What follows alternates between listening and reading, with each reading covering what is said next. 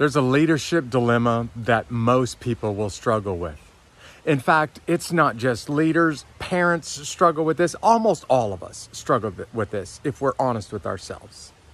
And it's the challenge of control.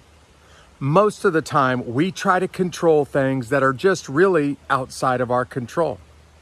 I'm standing outside these trees because I want to illustrate the idea of trying to grab control of something that's really not in your control Though we do it as parents, we do it as leaders, we do it as people.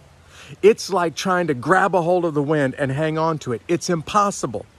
And the more that you try to control it, the more that it frustrates you, the things that are out of your control. This blog today is designed to help us see who really has ultimate control in our lives. And here's a hint it's not you or me. Check this out, will you?